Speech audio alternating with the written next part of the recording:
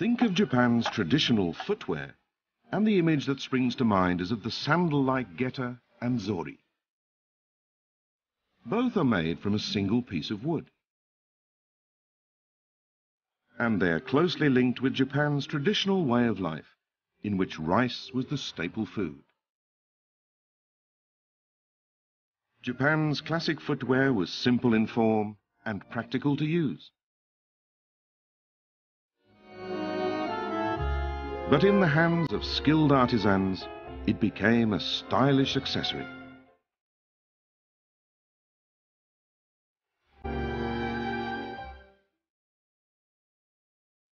When you enter a Japanese home, you take off your shoes. There's an etiquette for how this is done. On this edition of Begin Japanology, we look at Japanese footwear. We'll trace its origins and find out how a barefooted culture came to embrace the use of shoes.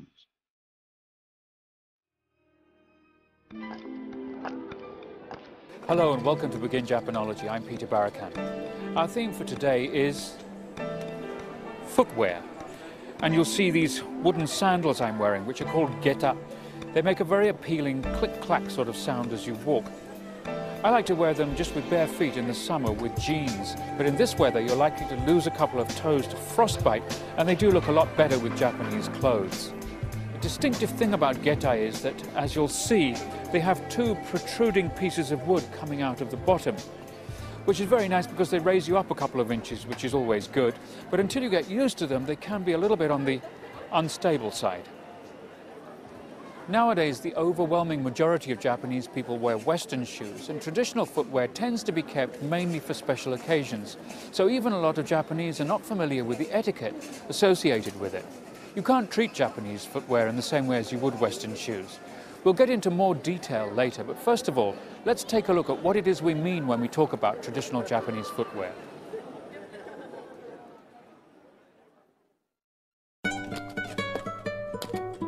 The people of Japan progressed from living barefoot to using footwear around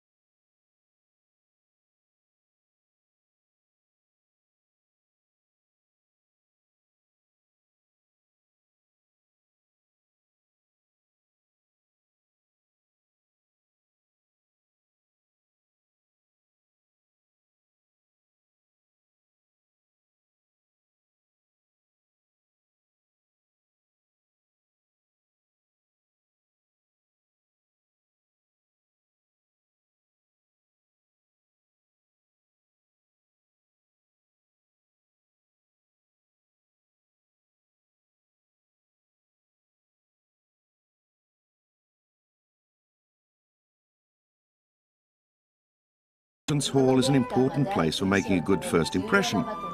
It's customary in Japan to remove your footwear before entering a house, and you need to learn the proper etiquette concerning footwear. When you take off your shoes, they need to be placed together, pointing the direction of the door. So people often remove their shoes like this. But this is incorrect. It's a breach of good manners to turn your back towards the people inside the house when removing your shoes. So, what's the correct way? You remove your shoes facing the inside of the house. And your first step onto the floor should be taken with the foot that's farther away from the host. Once you're on the floor, you kneel down facing one side. Again, you're not supposed to turn your back towards the host as you do this. The shoes are put together neatly, pointing towards the door and placed to one side. When there are many shoes, put some of them to one side and the rest to the other side. There should be enough space left in the center for the benefit of whoever arrives next. When you visit a Japanese home, it's impolite to enter barefoot. So you should take socks with you. And when you go inside a shrine or temple, or attend a tea ceremony, you should have white ones, like these. I'm sure it's the same all around the world. But the important thing is to show consideration for others. In Japan, it's important to think of other people, even when you're just taking off your shoes in the entrance hall. I'll be glad if everyone understands this. This is a long established wholesaler of both Geta and Zori. I'm going to go straight in and take a look.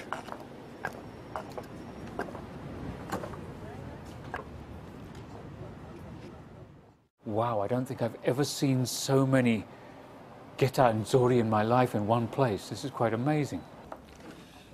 And these are the toe straps. Normally these are, of course, attached to the sandals, so you don't think of them as being a separate entity to themselves, but there's hundreds and hundreds of different designs.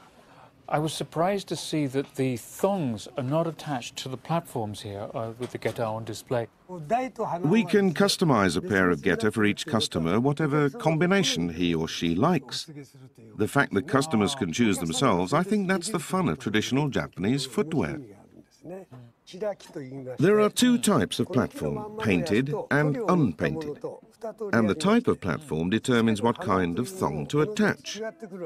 For instance, this thong against this platform. The Geta now looks much different from when it was just the platform, and a darker thong goes well with an unpainted platform. There's a nice contrast there. I usually recommend this kind of combination to people who are only just getting into traditional footwear. There's so many different types of geta as well. Perhaps you can explain to us the difference between some of these. The kind of geta platform that's made from a single piece of wood is said to be the best. Mm. And these are called senryo. These ones with the diagonal. Ah. And these ones, the rear ends are rounded.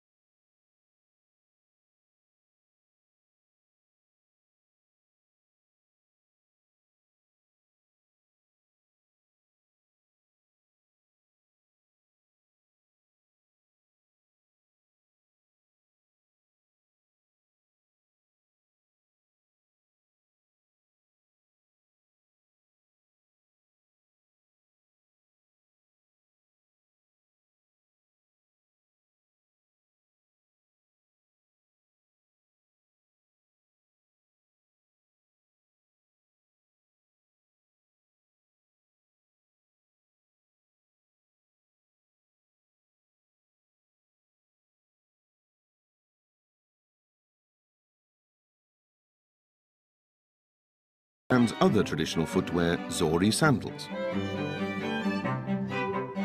It's known that footwear like this from China existed in Japan too around 1,000 years ago. Woven out of beech bark, they are quite shoe-like. People in Japan were impressed by this new concept of footwear, so different from the geta they were used to. What intrigued them was not the shape, but the fact that they were woven from plant materials. So people in Japan began to create woven footwear from readily available straw and came up with waraji, straw sandals.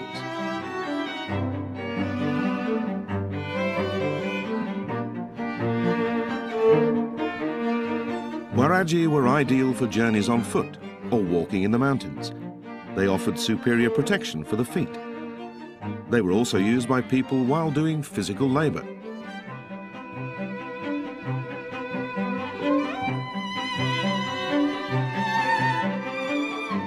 Waraji eventually evolved into a type of footwear more suitable for daily life, Zori. Zori retained Waraji's low-to-the-ground stability while incorporating the thong mechanism from Geta to make them easier to get on and off.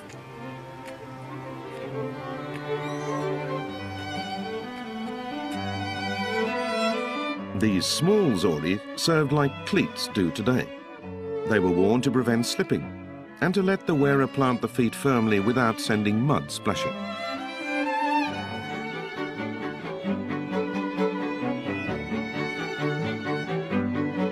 Because they aided mobility, Zori were also worn by samurai warriors in battle. Like waraji, Zori are made of woven straw. In time, different parts of Japan began using their own local materials. Some Zori were woven from bamboo, while others were made of wood. These ones were woven from wisteria vines. In modern times, an even wider range of materials came to be used. Zori incorporated snakeskin, cowhide, and dyed fabric, even the silk-like sheath spun by the bagworm. And for the sole, cork or felt came to be used making the platform thicker and angled.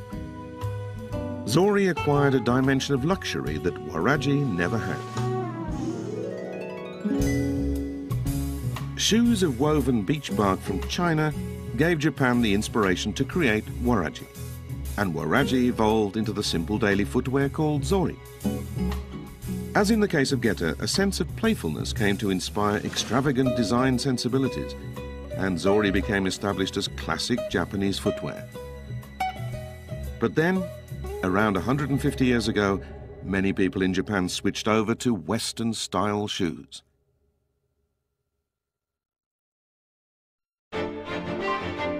This photograph shows Sakamoto Ryoma, a prominent figure in the period when Japan was undergoing rapid modernization. They're a bit hard to make out, but look at his feet. Beneath the hem of his kimono, a pair of boots. They show that he was a man ahead of his time, turning his eyes towards the West and away from Japanese tradition.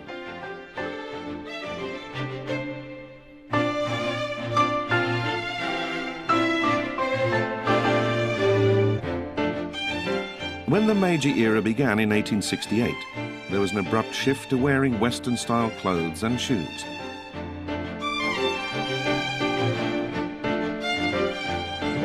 The military too was modernized along Western lines. Japan set aside the gentle pace of traditional life with its natural footwear and put its best foot forward in Western shoes. Japan's westernization was remarkably rapid. Many traditions faded away, including the everyday wearing of geta and zori. As we saw in the video, Geta originated from footwear for rice cultivation, which might seem a little odd, but there is a certain logic in being raised up a few inches if you're going to be walking through thick mud. In the Geta shop, we saw a wide range of different wooden platforms, but Geta are not just carved hunks of wood. There's a lot more that goes into the completion of a pair of Geta.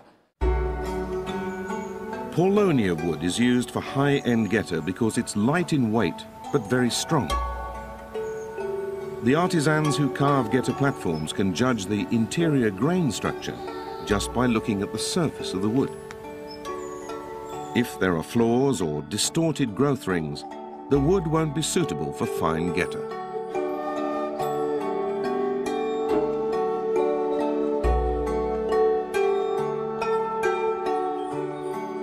Here, the pattern of growth rings is rough and irregular.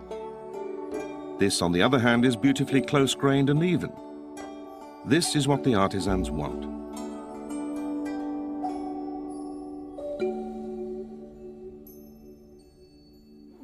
Our customers aren't just buying geta.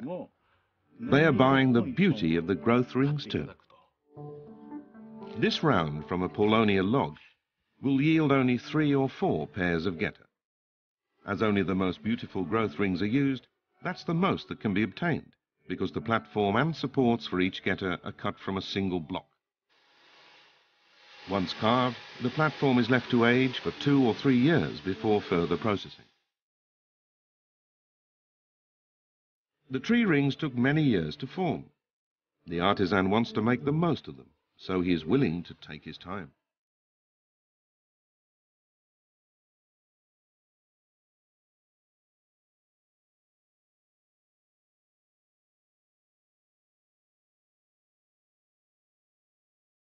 Here's a finished pair of geta platforms.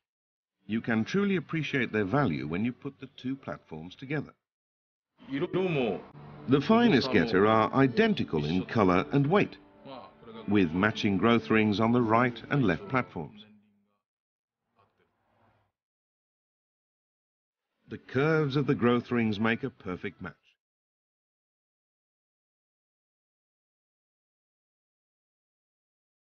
The platforms have been carved so that their backs match too. Arrange your geta in someone's entrance hall, this beauty catches the eye. Only in Japan do people pay such attention to detail. Geta platforms can also be elaborately decorated to create a different kind of charm. These are lacquered geta. The finest ones are very labour intensive to make taking six months to complete.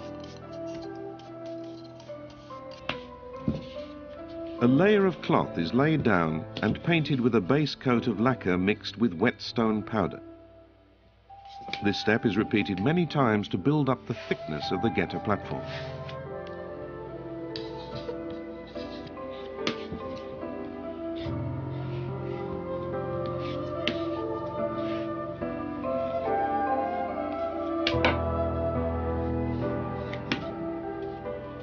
Three months later, lacquer is finally applied. And further lacquering is done after another three months.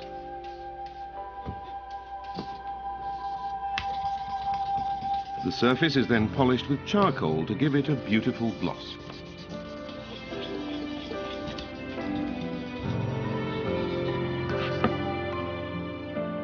The lustrous black of a lacquered geta platform provides a canvas for further adornment in the hands of skilled artisans.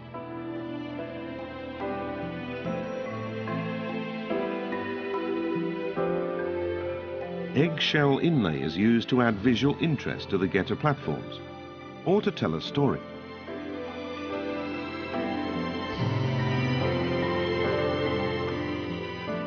Mother of pearl or gold are also used turning footwear into works of art.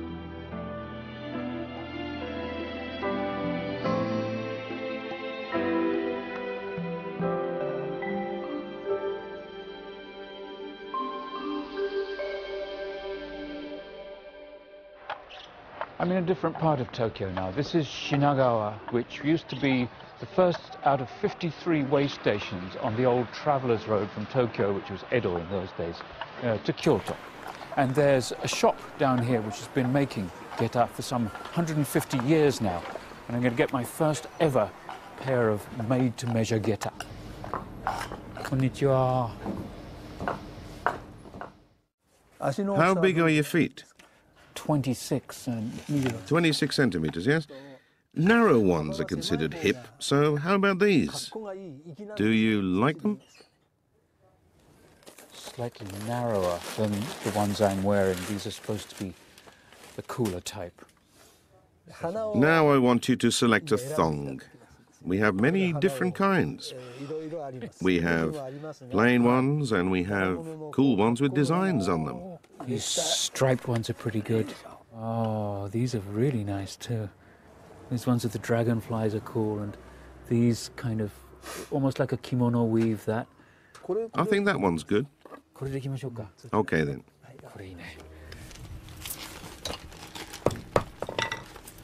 In the past, when I bought ready-made geta, I've sometimes found that the thongs were very painful. Go to a geta shop and get custom-made geta for yourself, then they're not going to hurt.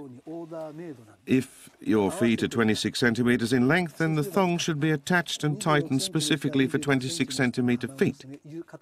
Also, the tightness of the thong should be different for frequent wearers and occasional wearers. What's the trick in finding the best ones for your own feet? First and foremost, your heel should stick out from the rear edge of the platform. In which case, if you keep your centre of gravity on your heels, it's going to hurt. So you naturally shift your centre of gravity forward, which is good for your lower body. For women, it prevents your buttocks from sagging, and you look great, seen from the back. If the rear tooth is more worn down than the front tooth, then you're not walking right. In Japan today, geta and zori are mainly worn on special occasions, such as at festivals. As a result, fewer and fewer Japanese people know how to walk in traditional footwear.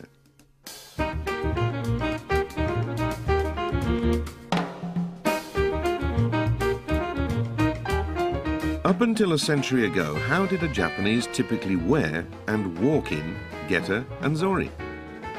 One man has done research on the body movements associated with how people walked and lived in the past. Only being able to walk in shoes means you may find it hard to master walking in geta and zori.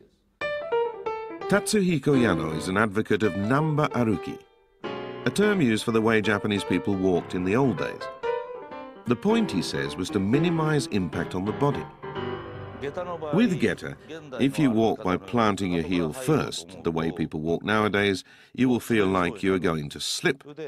And when you try to spring off your trailing foot, the Geta will bang against the ground. You want to avoid that sort of stride and slide the Geta forward while maintaining its orientation.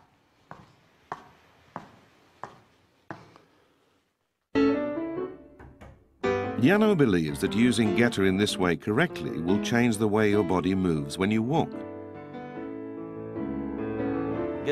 Modern people walk with shoulders and hips swinging. They stride along and plant the feet firmly, like this.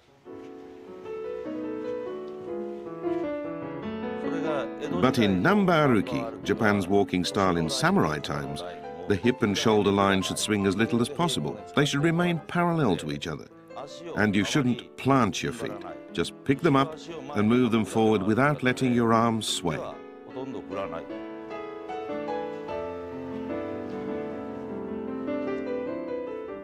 If you plant your feet firmly, you will hurt them or snap the thong of your geta.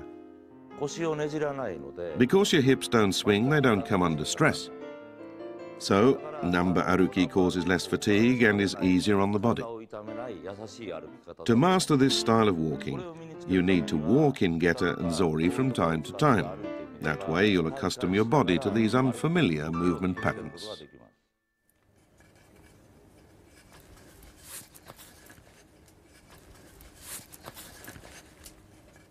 Please try them on. So I, tr- I try them on now.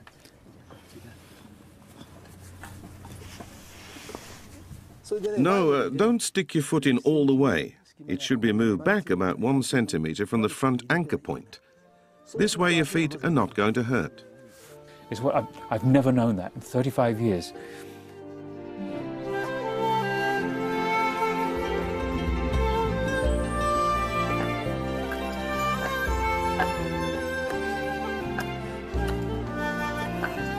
After all these years, my first pair of order-made geta, and they're really, they really are nice. I'm looking forward to wearing them. But as I've been told for the last God knows how many years, I've been walking in these things in the wrong way, dragging my feet along, and I thought that was how we were supposed to do it. That's not the case, and you're not supposed to walk uh, the same way as you would with shoes either. You have to swing your hips in a different way, you have to move your legs in a different way. I've obviously got a lot of practice ahead of me, so I think I'm going to get started. I'll see you again next time.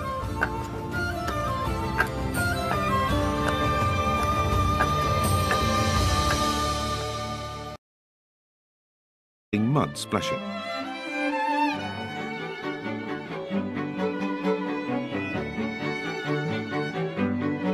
Because they aided mobility, zori were also worn by samurai warriors in battle. Like waraji, zori are made of woven straw. In time, different parts of Japan began using their own local materials. Some zori were woven from bamboo, while others were made of wood. These ones were woven from wisteria vines. In modern times, an even wider range of materials came to be used. Zori incorporated snakeskin, cowhide, and dyed fabric, even the silk-like sheath spun by the bagworm. And for the sole, cork or felt came to be used, making the platform thicker and angled. Zori acquired a dimension of luxury that Waraji never had. Shoes of woven beech bark from China gave Japan the inspiration to create Waraji, and Waraji evolved into the simple daily footwear called Zori. As in the case of Geta, a sense of playfulness came to inspire extravagant design sensibilities, and Zori became established as classic Japanese footwear. But then, Around 150 years ago, many people in Japan switched over to Western-style shoes.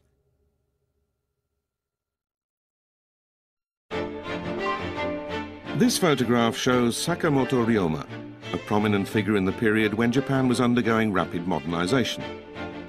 They're a bit hard to make out, but look at his feet.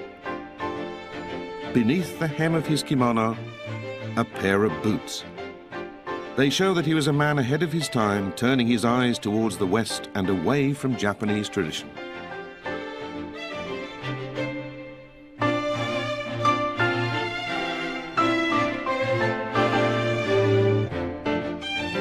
When the Meiji era began in 1868, there was an abrupt shift to wearing Western-style clothes and shoes.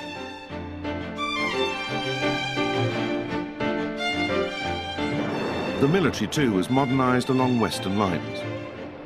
Japan set aside the gentle pace of traditional life with its natural footwear and put its best foot forward in Western shoes. Japan's westernization was remarkably rapid.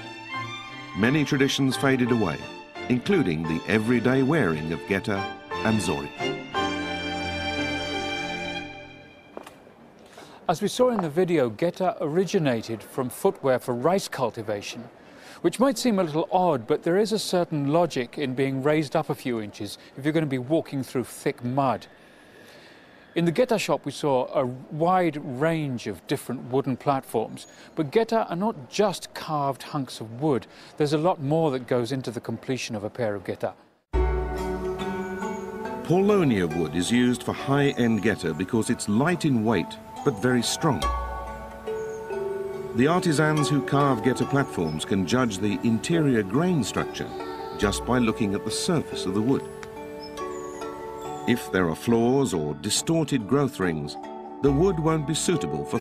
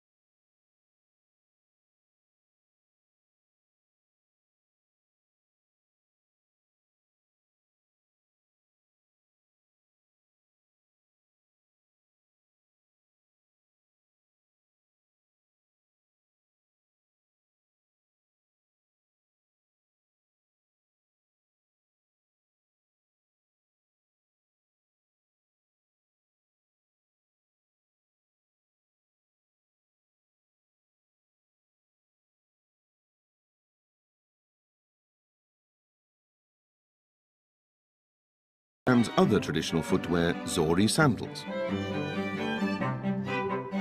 It's known that footwear like this from China existed in Japan too around 1,000 years ago. Woven out of beech bark, they are quite shoe-like. People in Japan were impressed by this new concept of footwear, so different from the geta they were used to. What intrigued them was not the shape, but the fact that they were woven from plant materials. So people in Japan began to create woven footwear from readily available straw and came up with waraji, straw sandals.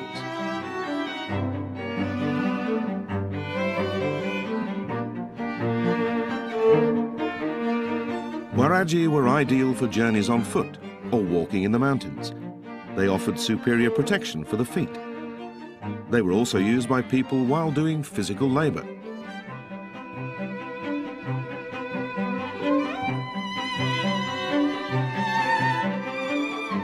Waraji eventually evolved into a type of footwear more suitable for daily life, Zori.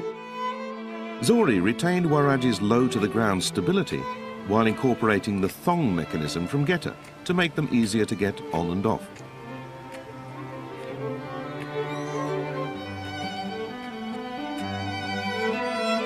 These small Zori served like cleats do today. They were worn to prevent slipping and to let the wearer plant the feet firmly without sending... Once you're on the floor, you kneel down facing one side. Again, you're not supposed to turn your back toward the host as you do this.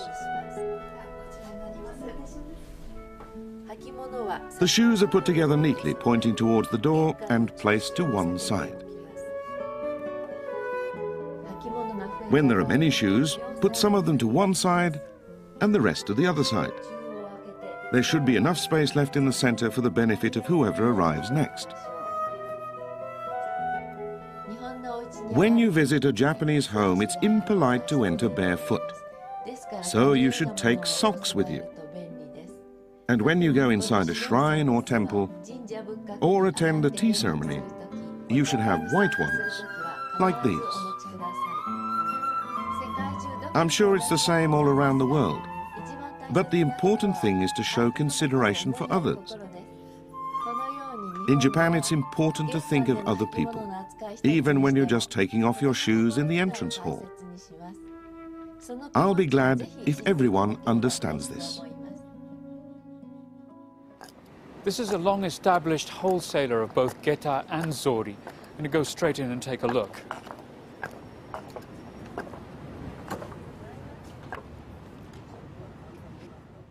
Wow, I don't think I've ever seen so many Geta and Zori in my life in one place. This is quite amazing. And these are the toe straps. Normally these are, of course, attached to the sandals, so you don't think of them as being a separate entity to themselves, but there's hundreds and hundreds of different designs. I was surprised to see that the thongs are not attached to the platforms here uh, with the Geta on display. We can customize a pair of Geta for each customer, whatever combination he or she likes. The fact that customers can choose themselves, I think that's the fun of traditional Japanese footwear. There are two types of platform, painted and unpainted. And the type of platform determines what kind of thong to attach. For instance, this thong against this platform. The Geta now looks much different from when it was just the platform, and a darker thong goes well with an unpainted platform. There's a nice contrast there. I usually recommend this kind of combination to people who are only just getting into traditional footwear. There's so many different types of Geta as well. Perhaps you can explain to us the difference between some of these. The kind of Geta platform that's made from a single piece of wood is said to be the best. Mm. And these are called senryo. These ones with the diagonal. Ah. And these ones, the rear ends are rounded.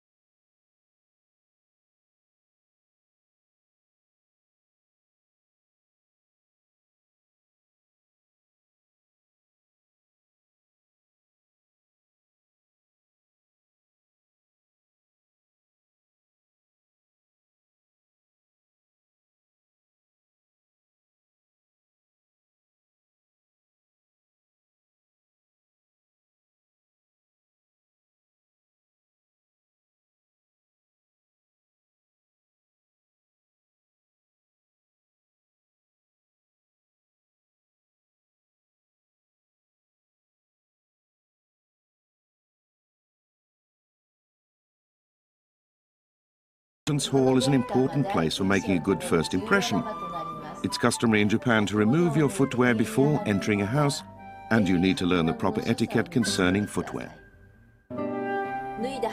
When you take off your shoes, they need to be placed together, pointing the direction of the door. So people often remove their shoes like this. But this is incorrect. It's a breach of good manners to turn your back towards the people inside the house when removing your shoes. So, what's the correct way? You remove your shoes facing the inside of the house. And your first step onto the floor should be taken with the foot that's farther away from the host. Think of Japan's traditional footwear, and the image that springs to mind is of the sandal-like geta and zori. Both are made from a single piece of wood. And they're closely linked with Japan's traditional way of life, in which rice was the staple food. Japan's classic footwear was simple in form and practical to use. But in the hands of skilled artisans, it became a stylish accessory.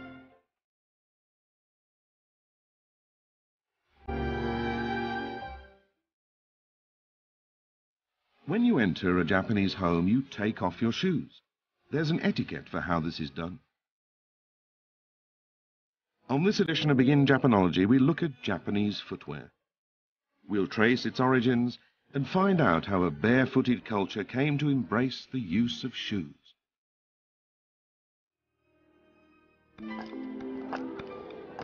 Hello and welcome to Begin Japanology. I'm Peter Barakan. Our theme for today is footwear.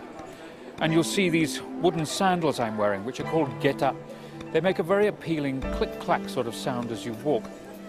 I like to wear them just with bare feet in the summer with jeans, but in this weather you're likely to lose a couple of toes to frostbite, and they do look a lot better with Japanese clothes. The distinctive thing about geta is that, as you'll see, they have two protruding pieces of wood coming out of the bottom, which is very nice because they raise you up a couple of inches, which is always good, but until you get used to them, they can be a little bit on the unstable side. Nowadays, the overwhelming majority of Japanese people wear Western shoes, and traditional footwear tends to be kept mainly for special occasions. So even a lot of Japanese are not familiar with the etiquette associated with it. You can't treat Japanese footwear in the same way as you would Western shoes. We'll get into more detail later, but first of all, let's take a look at what it is we mean when we talk about traditional Japanese footwear.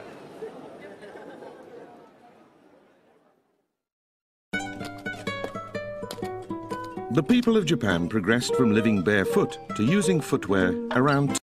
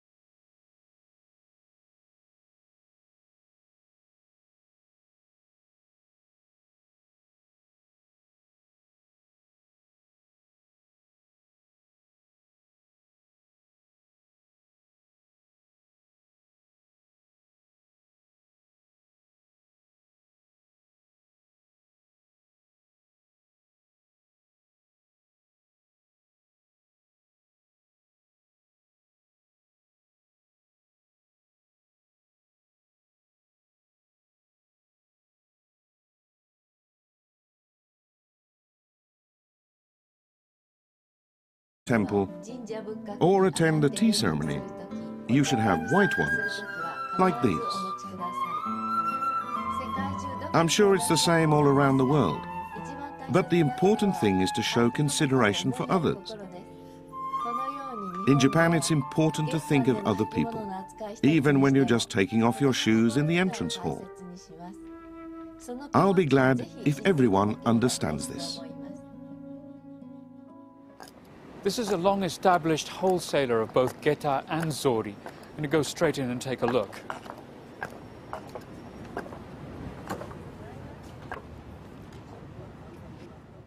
Wow, I don't think I've ever seen so many Geta and Zori in my life in one place. This is quite amazing. And these are the toe straps. Normally these are, of course, attached to the sandals, so you don't think of them as being a separate entity to themselves, but there's hundreds and hundreds of different designs. I was surprised to see that the thongs are not attached to the platforms here uh, with the Geta on display. We can customize a pair of Geta for each customer, whatever combination he or she likes. The fact that customers can choose themselves, I think that's the fun of traditional Japanese footwear. There are two types of platform, painted and unpainted. And the type of platform determines what kind of thong to attach. For instance, this thong against this platform. The Geta now looks much different from when it was just the platform, and a darker thong goes well with an unpainted platform. There's a nice contrast there. I usually recommend this kind of combination to people who are only just getting into traditional footwear. There's so many different types of Geta as well. Perhaps you can explain to us the difference between some of these. The kind of Geta platform that's made from a single piece of wood is said to be the best. Mm. And these are called senryo. These ones with the diagonal. Ah. And these ones, the rear ends are rounded.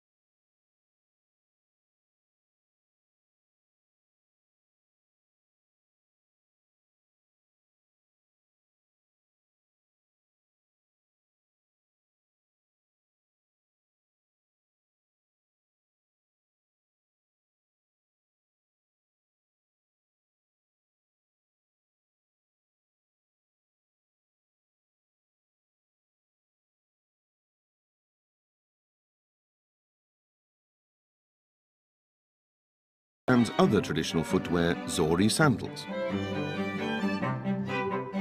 It's known that footwear like this from China existed in Japan too around 1,000 years ago. Woven out of beech bark, they are quite shoe-like. People in Japan were impressed by this new concept of footwear, so different from the geta they were used to. What intrigued them was not the shape, but the fact that they were woven from plant materials, so people in Japan began to create woven footwear from readily available straw and came up with waraji, straw sandals.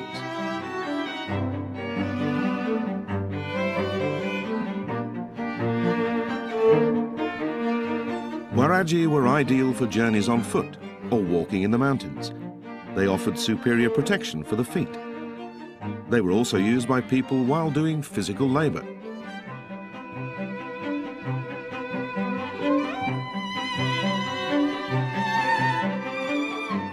Waraji eventually evolved into a type of footwear more suitable for daily life, Zori.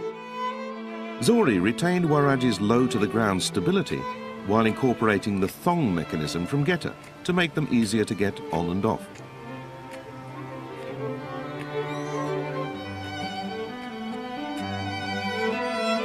These small Zori served like cleats do today. They were worn to prevent slipping and to let the wearer plant the feet firmly without sending mud splashing.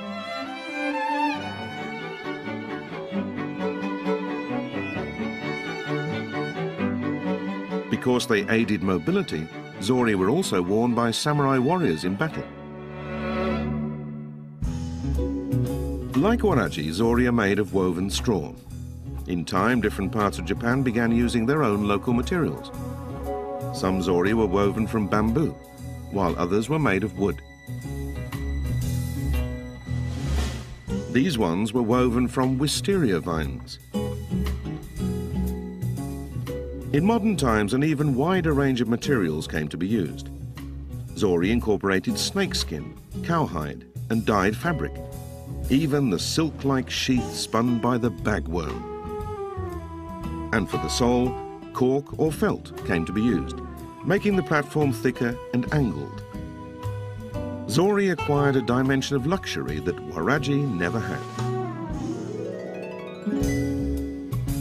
Shoes of woven beech bark from China gave Japan the inspiration to create Waraji, and Waraji evolved into the simple daily footwear called Zori. As in the case of Geta, a sense of playfulness came to inspire extravagant design sensibilities and Zori became established as classic Japanese footwear. But then, around 150 years ago, many people in Japan switched over to Western-style shoes.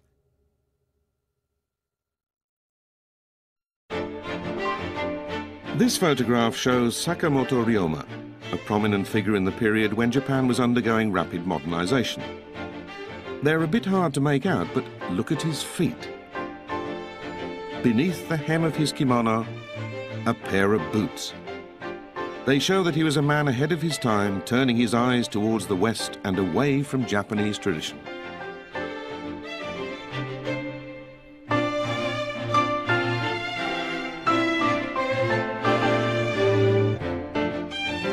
When the Meiji era began in 1868, there was an abrupt shift to wearing Western-style clothes and shoes.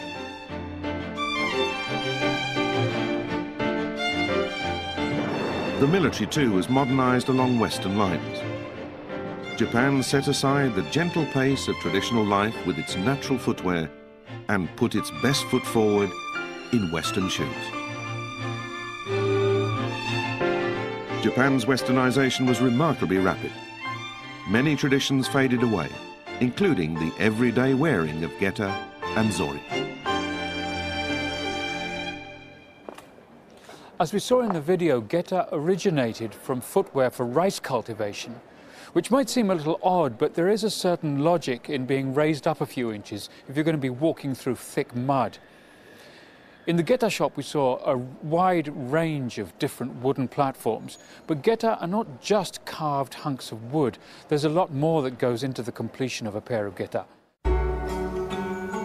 Paulownia wood is used for high-end Geta because it's light in weight but very strong.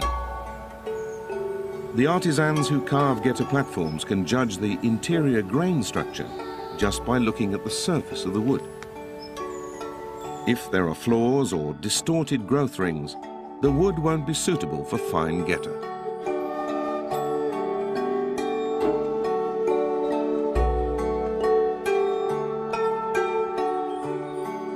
Here, the pattern of growth rings is rough and irregular. This, on the other hand, is beautifully close-grained and even. This is what the artisans want.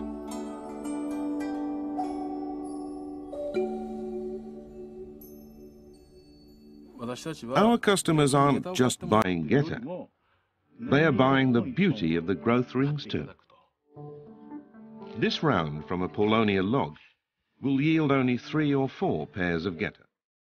As only the most beautiful growth rings are used, that's the most that can be obtained, because the platform and supports for each Geta are cut from a single block. Once carved, the platform is left to age for two or three years before further processing. The tree rings took many years to form. The artisan wants to make the most of them, so he is willing to take his time.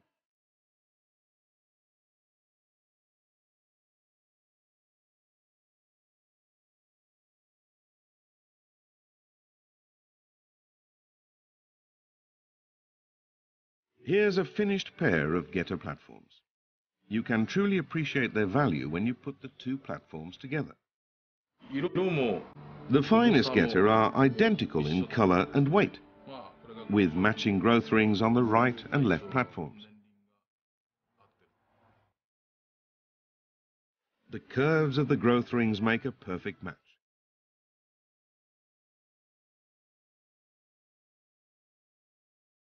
The platforms have... Think of Japan's traditional footwear, and the image that springs to mind is of the sandal-like geta and zori. Both are made from a single piece of wood. And they're closely linked with Japan's traditional way of life, in which rice was the staple food. Japan's classic footwear was simple in form and practical to use. But in the hands of skilled artisans, it became a stylish accessory.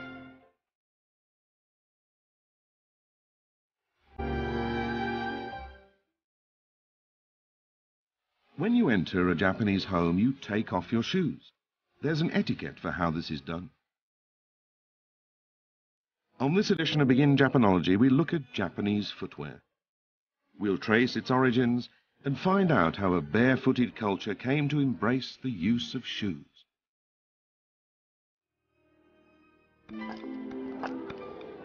Hello and welcome to Begin Japanology. I'm Peter Barakan. Our theme for today is footwear. And you'll see these wooden sandals I'm wearing, which are called geta. They make a very appealing click-clack sort of sound as you walk. I like to wear them just with bare feet in the summer with jeans, but in this weather you're likely to lose a couple of toes to frostbite, and they do look a lot better with Japanese clothes. The distinctive thing about geta is that, as you'll see, they have two protruding pieces of wood coming out of the bottom, which is very nice because they raise you up a couple of inches, which is always good, but until you get used to them, they can be a little bit on the unstable side. Nowadays, the overwhelming majority of Japanese people wear Western shoes, and traditional footwear tends to be kept mainly for special occasions. So even a lot of Japanese are not familiar with the etiquette associated with it. You can't treat Japanese footwear in the same way as you would Western shoes. We'll get into more detail later, but first of all, let's take a look at what it is we mean when we talk about traditional Japanese footwear.